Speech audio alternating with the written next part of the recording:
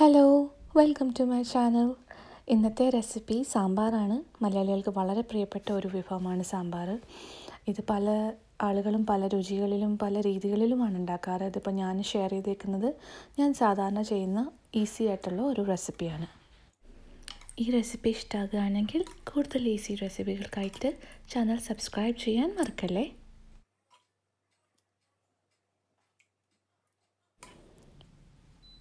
അപ്പം നമുക്ക് തുടങ്ങാം. ഇവിടെ സാമ്പാറിനുള്ള എല്ലാ കഷ്ണങ്ങളും കിട്ടാൻ എനിക്ക് കുറച്ച് ബുദ്ധിമുട്ടാണ്. അതുകൊണ്ട് ഞാൻ ജസ്റ്റ് വീട്ടിലുള്ള പച്ചക്കറികൾ മാത്രമാണ് എടുത്തേക്കുന്നത് ക്യാരറ്റ് പൊട്ടറ്റോ തക്കാളി ഉള്ളി കുറച്ച് മുരിങ്ങക്കോൽ. ഇക്കൂടത്തിൽ ഇഷ്ടമുള്ള വെജിറ്റബിൾസ് ഒക്കെ നമുക്ക് ചേർക്കാം. വഴുതനങ്ങ വെണ്ടയ്ക്ക ഏത്തയ്ക്ക ഒക്കെ ചേർക്കാം ഞാൻ എടുത്തേക്കുന്നത് മസൂർ താൽ അല്ലെങ്കിൽ റെഡ് ലെൻഡൽസ് ആണ്. എനിക്കതിട്ട് സാമ്പാർ ഉണ്ടാക്കാൻ ഇഷ്ടം. അതുകൊണ്ട് എന്റെ റെസിപ്പി ഞാൻ അങ്ങനെയാണ് ചെയ്യാറ്. ഈ മസൂർ ദാൽ നന്നായി കഴുകി ഒരു കപ്പ് മസൂർ ദാലിന് നാല് കപ്പ് വെള്ളം കൂടെ ചേർത്ത് പ്രഷർ കുക്കറിൽ വെക്കാം. അതേസമയം ഒരു നെല്ലിക്കയുടെ അത്രയുള്ള പുളി കുതിരാനായിട്ടും വയ്ക്കാം അപ്പം മസൂർ ദാൽ വേകുന്ന സമയം കൊണ്ട് പച്ചക്കറിയൊക്കെ നമുക്ക് നീളത്തിൽ അരിഞ്ഞെടുക്കാം. ഇത് നീളത്തിലോ വട്ടത്തിലോ ഇഷ്ടമുള്ളതുപോലെ എങ്ങനെയാണെന്ന് വെച്ചാൽ അരിയാം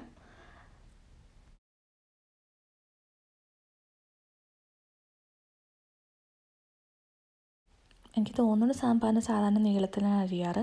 നീളത്തിലോ ക്യൂബായിട്ടോ ആണ് അരിയാറെന്നാണ് തോന്നുന്നത്. ഏതായാലും ഇഷ്ടമുള്ള പോലെ അരിയൂ. പിന്നെ എരിവിന് ഞാനൊരു പച്ചമുളകാണ് എടുത്തേക്കുന്നത് നല്ല എരിവുള്ള ഒരു പച്ചമുളകാണ്. നിങ്ങളുടെ എരിവിന് ആവശ്യത്തിനനുസരിച്ച് കൂടുതൽ ചേർക്കുകയോ കുറച്ച് ചേർക്കുകയോ ചെയ്യാം. ഇപ്പം ഇപ്പോൾ ഒരു വിസിൽ വന്നിട്ടുണ്ട്. നമ്മുടെ പരിപ്പ് നന്നായിട്ട് വെന്തിട്ടുണ്ട്. ഞാനിങ്ങനെ പരിപ്പ് ആദ്യമേ ഒരു പ്രാവശ്യം വേവിക്കുന്നത് സാമ്പാർ നന്നായിട്ട് കുറുകി വരാൻ വേണ്ടിയിട്ടാണ്. അപ്പം സ്റ്റൗ വീണ്ടും ഓണാക്കിയിട്ടുണ്ട് പരിപ്പതി നന്നായിട്ട് വെന്ത് സോഫ്റ്റായി. ഇനി ഇതിനകത്തേക്ക് നമുക്ക് പച്ചക്കറികൾ അരിഞ്ഞു വെച്ചിരിക്കുന്ന പച്ചക്കറികൾ ചേർത്തിട്ട് ഒരു വിസിലും കൂടെ വരുന്നവരെ വേവിക്കണം.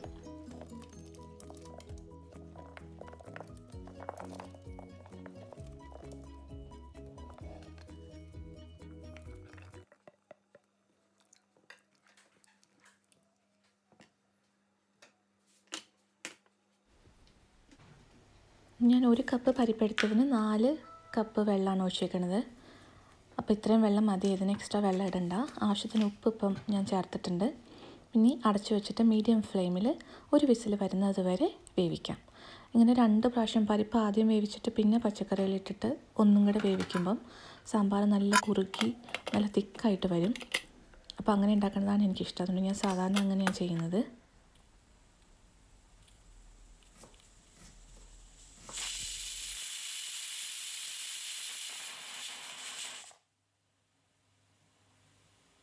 ഇപ്പോൾ ഇപ്പോൾ ഒരു വിസിലും കൂടെ വന്നിട്ട് പച്ചക്കറിയൊക്കെ നന്നായിട്ട് വെന്തിട്ടുണ്ട്. കുക്കറിലെ പ്രഷർ പോകണത് വരെ വെയിറ്റ് ചെയ്യാം. ആ സമയത്ത് ഒരു പാനിൽ കുറച്ച് എണ്ണ ചൂടാക്കിയിട്ട് കടുകൊക്കെ പൊട്ടിച്ച് താളിക്കാം. ഞാൻ ഒരു ടീസ്പൂൺ കടുക് ഇട്ടിട്ടുണ്ട് ഈ എണ്ണയിലേക്ക്. ഇത് വെളിച്ചെണ്ണയാണ്. നമ്മുടെ നാടൻ കറികൾക്ക് എപ്പോഴും ടേസ്റ്റ് ഉണ്ടാകുന്നത് വെളിച്ചെണ്ണ ഉപയോഗിക്കുമ്പോഴാണ്. ഇല്ലെങ്കിൽ റൈസ് ബ്രാൻ ഓയിൽ ഉപയോഗിക്കാം. പിന്നെ സവാള. കുഞ്ഞതായിട്ട് തന്നെ സവാള ഞാൻ ഇവിടെ ഉപയോഗിച്ചിരിക്കുന്നത് പക്ഷേ ഇതിന് പകരം ചെറിയ ഉള്ളി ഷലോട്ട്സാണ് കൂടുതൽ ടേസ്റ്റ് എന്റെ കയ്യിൽ ഷലോട്ട്സ് ഇല്ലാത്തതുകൊണ്ട് ഞാൻ സവാള എടുത്തോന്നേ ഉള്ളൂ ചെറുതായിട്ട് അരിഞ്ഞത്. ഇനി ഇതിലേക്ക് ഇടുന്നത് നാല് ടേബിൾ സ്പൂൺ സാമ്പാർ മസാലയാണ്. അത് നമുക്ക് കടയിൽ കിട്ടുന്ന ഇഷ്ടമുള്ള ബ്രാൻഡ് യൂസ് ചെയ്യാം. പക്ഷേ ഞാനിപ്പോൾ ഇവിടെ ഉപയോഗിച്ചിരിക്കുന്നത് വീട്ടിൽ ഞാൻ തന്നെ വറുത്ത് പൊടിച്ച സാമ്പാർ മസാലയാണ്. അതിന്റെ വീഡിയോ ഞാൻ ഇതിന് മുന്നേ ഇട്ടായിരുന്നു. അതിന്റെ ലിങ്ക് ഞാൻ ഈ വീഡിയോയുടെ അവസാനവും ഡിസ്ക്രിപ്ഷൻ ബോക്സിലും കൊടുക്കാം. ഒരു അഞ്ച് പത്ത് മിനിറ്റ് കൂടുതൽ എടുക്കില്ല ഈ സാമ്പാർ മസാല ഉണ്ടാക്കാൻ. അപ്പോൾ നമുക്ക് വീട്ടിൽ തന്നെ മായങ്ങളൊന്നും ഇല്ലാണ്ട് ആർട്ടിഫിഷ്യലായിട്ട് ഒന്നും ചേർക്കാതെ നമ്മുടെയൊക്കെ വീട്ടിലെല്ലാ സാധനങ്ങളും കൊണ്ട് ഉറപ്പായിട്ടും പെട്ടെന്ന് ഉണ്ടാക്കാവുന്ന ഒരു മസാലയാണിത്. പിന്നെ നല്ല നമ്മൾ കടയിൽ നിന്ന് മേടിക്കുന്നതിനെക്കാട്ടും കൂടുതൽ നല്ല മണവുമാണ് നല്ല രുചിയാണ് ഈ സാമ്പാർ മസാല ഇട്ടിട്ട് സാമ്പാർ ഉണ്ടാക്കിയാൽ. ഈ സാമ്പാർ മസാല ഉണ്ടാക്കിയപ്പോൾ തന്നെ ഞാൻ അതിൽ കായവും മഞ്ഞളും ചേർത്തായിരുന്നു. പക്ഷേ അതിന്റെ പുറമെ ഞാനിപ്പം എക്സ്ട്രാ ആയിട്ട് ഒരു സ്പൂൺ കായവും ഒരു സ്പൂൺ മഞ്ഞൾപ്പൊടിയും കൂടി ഈ സാമ്പാറിലേക്ക് ഇപ്പോൾ ഇടുന്നുണ്ട്.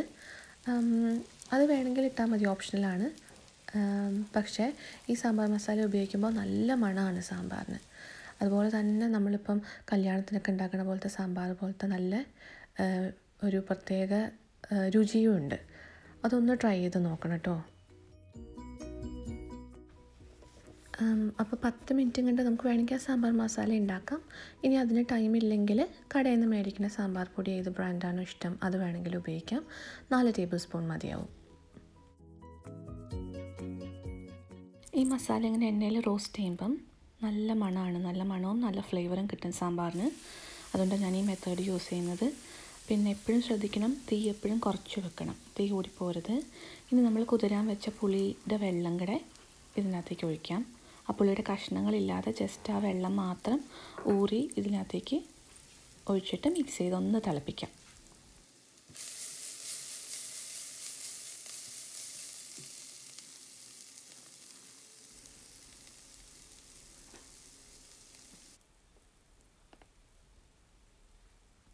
ഇപ്പോൾ ഈ ഉള്ളിയും പുളിയും മസാലക്കൂട്ടും എല്ലാം കൂടി ചെറുതീയിലൊന്ന് നന്നായിട്ട് തിളച്ചിട്ടുണ്ട്. ഇത്രയും മതി ഇനി തീ ഓഫ് ചെയ്യാം. ഇപ്പോൾ കുക്കറിലെ പ്രഷറൊക്കെ റിലീസായിട്ടുണ്ട് നമുക്ക് തുറന്ന് നോക്കാം. പച്ചക്കറിയൊക്കെ നന്നായിട്ട് വെന്തിട്ടുണ്ട്. പക്ഷെ വെന്തുടഞ്ഞിട്ടില്ല ചിലർ പ്രിഫർ ചെയ്യുന്നത് തക്കാളി അവസാനം ചേർക്കാനാണ്. അങ്ങനെയാണെങ്കിൽ ഈ സമയത്ത് ഇട്ടാലും മതി. ആദ്യമേ വേവിക്കണ്ട. ഞാൻ ആ തക്കാളിയുടെ പുളിയും കൂടെ നന്നായിട്ട് കിട്ടാൻ വേണ്ടിയാണ് ആദ്യമേ എല്ലാം ഒരുമിച്ച് വേവിക്കുന്നത്. പിന്നെ ഒരു വിസിൽ വരെ വേവിക്കുന്നുള്ളൂ. അതുകൊണ്ട് എല്ലാം ഒരുപാടങ്ങ് വെന്തുടഞ്ഞ് പോവില്ല. ഉപ്പ് നമ്മൾ പച്ചക്കറി വേവിച്ച സമയത്ത് ഇട്ടായിരുന്നു. ഇപ്പോൾ ഒന്നും കൂടി ടേസ്റ്റ് ചെയ്ത് നോക്കിയിട്ട് കുറച്ചും കൂടി ഉപ്പ് വേണമെങ്കിൽ അതും കൂടി ഇടുക. ഇനി സാമ്പാർ നന്നായിട്ട് കുറച്ച് നേരം തിളപ്പിക്കാം.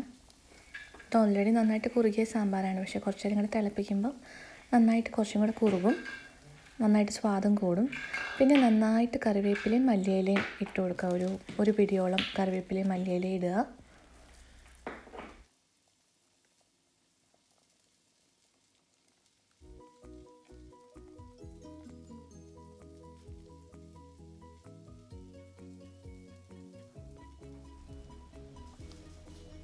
അത് കഴിഞ്ഞ് ഒരു മൂന്ന് തൊട്ട് അഞ്ച് മിനിറ്റ് ഒരു ചെറുതീയിൽ ഒന്നും കൂടി നന്നായിട്ട് തിളപ്പിച്ച് ചൂടാക്കുക. അത്രേ ഉള്ളൂ. സാമ്പാർ റെഡി അപ്പോൾ പ്രഷർ കുക്കറിൽ വളരെ പെട്ടെന്ന് ഉണ്ടാക്കാവുന്ന ഒരു സാമ്പാർ റെസിപ്പിയാണിത് തീർച്ചയായിട്ടും ട്രൈ ചെയ്ത് നോക്കണം. പിന്നെ കടയിൽ നിന്ന് മേടിക്കുന്ന സാമ്പാർ മസാല വേണമെങ്കിൽ തീർച്ചയായിട്ടും ഉപയോഗിക്കാം.